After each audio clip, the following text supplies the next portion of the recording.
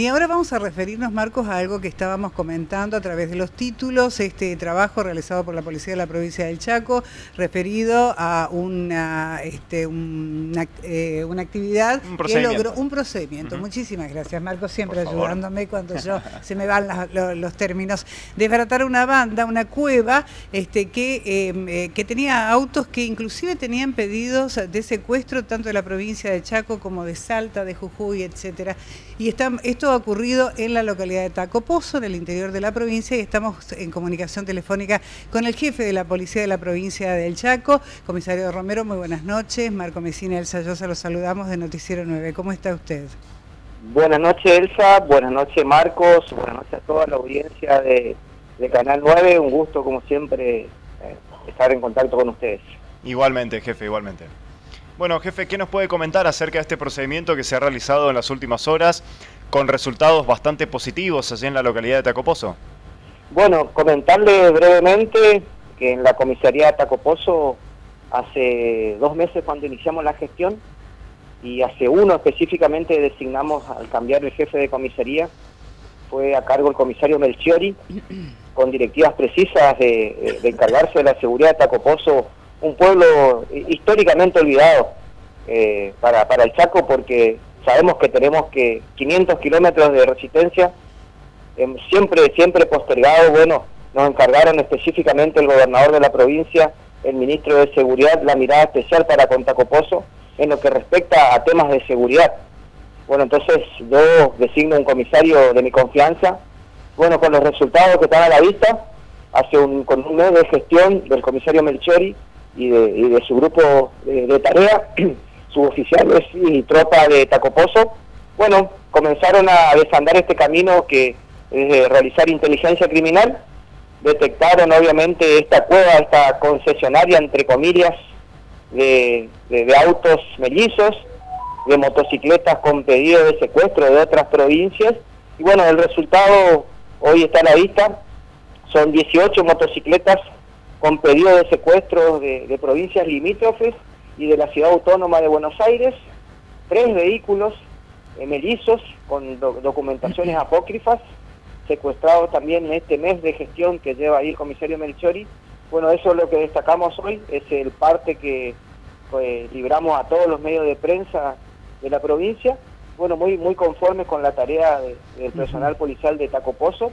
Eh, Lamentablemente también eh, en estas cuestiones de la investigación, en el hilo de la investigación, un personal policial involucrado, detenido en esta causa, el cabo primero Rizo Patrón, como encargado de, de estas cuestiones de adulteración de documentos para la venta de automotores eh, en forma fraudulenta.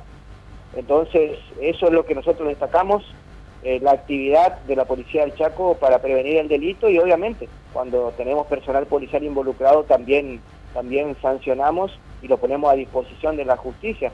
Esa es la directiva que tenemos del gobernador y del ministro y bueno, el miércoles por la mañana yo estaré visitando la, la localidad con el subjefe de policía para felicitar y recomendar al resto de la ciudadanía el accionar de- del personal de comisaría Tacopozo. Ujú. Ahora, jefe, le hago una consulta. ¿Todos estos vehículos estaban eh, para la venta o, o no? Porque los vemos que no están eh, de- desarmados o desguazados, sino que están enteros todos. Bueno, estos vehículos, tanto los automotores como los motovehículos, estaban en circulación en la localidad, con distinto tiempo de, de data. Eh, el comisario Melchori lo que hizo es fue detectando en los controles de motos que se hacían en la localidad, eh, que las mismas por el número de, de- de cuadro, de chasis y de motor, tenían pedido de secuestro de otras provincias y se fueron secuestrando. Muchas de ellas solamente tenían eh, algún, algún número visible y obviamente también fueron secuestradas, que posteriormente se va a determinar eh, el origen y la procedencia de esas motocicletas, pero en su gran mayoría fueron sustraídas. En otras provincias las traen a Tacopozo, así como los vehículos, le adulteran la documentación y las venden en forma fraudulenta en muchos casos, y en otros casos la información que tenemos es que la cambian por estupefaciente y ese estupefaciente los llevan a Capital Federal. Es moneda de cambio por, por, por cocaína en la localidad y se las lleva y se lleva el estupefaciente a Buenos Aires y es moneda de cambio o una motocicleta de alta cilindrada de marca importada o bien un, un vehículo sustraído en la ciudad de Buenos Aires. En este caso se aprecian en la fotografía tres vehículos chicos, pero también, también se ha secuestrado una, una camioneta Mitsubishi también que tenía pedido de secuestro de la Ciudad Autónoma de Buenos Aires. Comisario, usted al principio mencionó que hay un efectivo de la policía que está detenido, hay más personas detenidas, hay, hay más personas que están involucradas, hay eh, eh, que están involucradas en este, en este hecho. Sí, sí, hay, hay un civil que está detenido días anteriores ya a la causa que menciono, del devenir de la investigación, luego surge eh, la detención de un empleado policial con destino de revista en la misma comisaría Tacopozo, vive en la localidad, bueno, era el encargado de, fraguar la documentación de los vehículos y venderlos a, lugareños como, como, como originales, pero eran, eran documentación apócrifa. Claro. Ahora, jefe, lo que se puede ver en las imágenes son todas, eh, por lo menos las motocicletas, todas de alta cilindrada, eh, de, de una gama media alta, y los vehículos son prácticamente todos nuevos. Eh, hay un Polo, creo, patente AG, tiene cero kilómetros. Sí, sí, los vehículos están en excelentes condiciones de uso. Eh, reitero, son sustraídos en la ciudad de Buenos Aires y traídos a, la ciudad, a la, localidad de Tacopozo. Y las motocicletas también de marcas importadas y de, un altísimo costo. Bueno, eh, se desarticuló esta banda que operaba en la zona. me indican que la investigación sigue, continúa, así que no hay que descartar que en días posteriores más novedades en este caso. Exacto, y una, organización importante, ¿no? Porque se, eh, robos en Capital Federal y directo, eh, eh, y el destino Tacopozo, que sería la base o el centro a través del cual se hacía la distribución posterior o la adulteración de, la numeración de motores y demás. Claro, aclaro una, una cuestión más. Hay un detenido también de la ciudad de, autónoma de Buenos Aires eh, presidiario ya con, con, varios antecedentes, que estaba alojado en un hotel de Tacopozo, bueno, lo detectó la prevención policial, se lo detuvo como parte integrante de, la banda, son dos civiles los que están detenidos y un policía que, que en principio integrarían la, la banda dedicada a, esta, a estas cuestiones del robo automotor y motocicletas. Y con una complicación mayor que es la, la, la, que están involucrados también estupefacientes, drogas ilegales, ¿no? En todo esto. Sí, sí, esa es una línea que estamos manejando de la investigación, pero es muy probable que, que los vehículos y las motocicletas, reitero, sean moneda de cambio por estupefaciente que que, se traslada hacia la, hacia la provincia de Buenos Aires.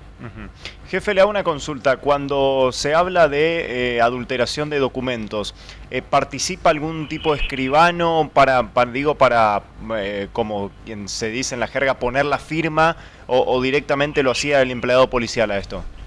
Bueno, desde la documental que, se exhibe, que se ha secuestrado, solamente todo lo que se refiere a, a, a 08, a toda la documentación que, se exige para la transacción de un, de un, de un motovehículo o, de un automotor.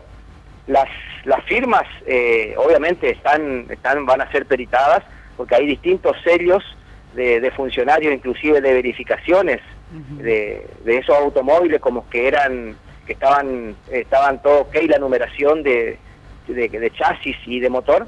Esa, esas verificaciones de, esos vehículos tienen sello de la policía de la provincia de Buenos Aires. Ahora hay que determinar con la investigación si realmente son originales o, si también son apócrifos. Todas esas cuestiones las está manejando el, fiscal en turno de la, de la ciudad de presidencia Roque Saspeña. Claro. Y únicamente hasta el momento eh, todo esto se daba en la localidad de Tacopozo, nada más. No hay versiones o información que pueda involucrar también a otra localidad de nuestra provincia. En principio, eh, les, digo que solamente alcanza la localidad de Tacopozo, pero reitero, no hay que descartar ningún, ningún avance en la investigación que se tenga alguna ramificación en otras, en otras ciudades de la provincia. Claro. Además, Tacopozo, bueno, es un punto neurálgico de, de todas las, el resto de las provincias también, eh, bueno, muy cercano a la provincia de Santiago del Estero, Salta, con lo cual, bueno, pueden tener procedencia de, de muchas ciudades o muchas provincias vecinas los vehículos, ¿no?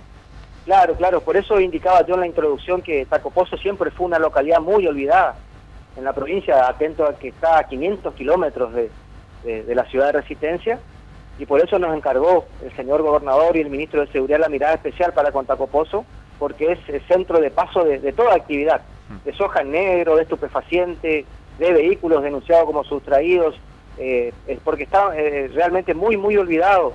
Hay que, hay que ponerle la mirada especial y bueno, eso es lo que hicimos y bueno, están los resultados a la vista. Eh, ojalá que de aquí a futuro tengamos más novedades con respecto a desmonte ilegal, soja en negro, tala ilegal de, madera, que tenemos muchas novedades en esa zona, que lo vamos a ir trabajando de aquí a futuro. y con la primera mirada de hace dos meses que están trabajando ya el, desbaratamiento de esta, de esta, esta cueva, ¿no? Sí, sin duda, sin duda, esa, esa es la directiva que tenemos del gobernador y del ministro para toda la provincia en general, encargarnos de la seguridad que venía muy postergada, es política de Estado en este gobierno la mirada especial para la seguridad. Entonces eso es lo que estamos haciendo, estamos trabajando fuertemente en muchos operativos y bueno, eh, con los resultados que, están a la vista. Bueno, jefe, le agradecemos mucho eh, por este contacto con Noticiero 9 Central, ha sido muy amable, eh, como siempre. No, gracias a ustedes, hasta luego. Hasta luego, muchísimas gracias.